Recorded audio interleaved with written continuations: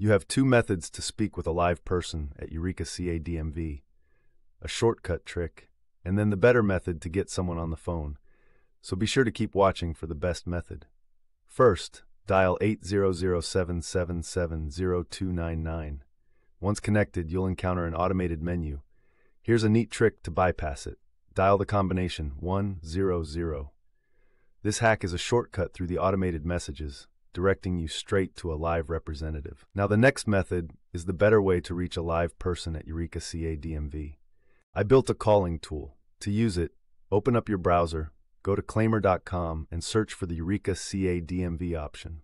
Claimyr can automatically call any phone line for you.